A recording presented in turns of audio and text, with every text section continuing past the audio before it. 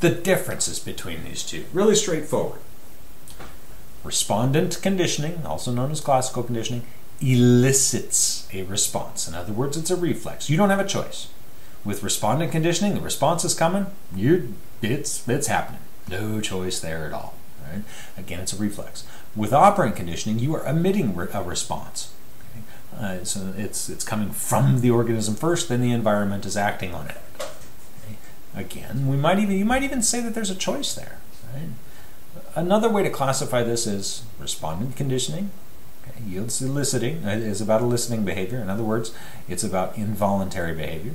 Operant conditioning is about when the organism emits a behavior. In other words, it's about voluntary behavior.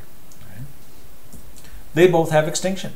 You can extinguish the response. You, um, the the curves look similar, other than the extinction burst. You know, uh, operant conditioning produces an extinction burst, whereas classical conditioning does not conditioned stimuli and discriminative stimuli they're very similar in a sense right so the conditioned stim but but, the, but in this case the conditioned stimulus elicits it pulls a response out of you okay. Whereas a discriminative stimulus just says that a, a, a particular response is going to be reinforced. A discriminative stimulus is more like a hey, you might want to do this right now because you're going to get something out of it. Whereas a conditioned stimulus says, you're going to do this right now, you know, that sort of thing, right?